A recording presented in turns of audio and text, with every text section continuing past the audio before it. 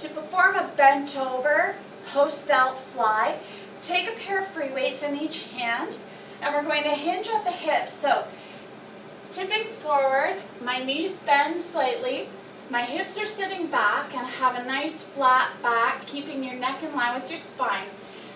Arms are going to hang down in front of you with your palms facing towards one another. From here, we're going to externally rotate, leading with the backs of your hands up to the ceiling. All the movements happening in my shoulder.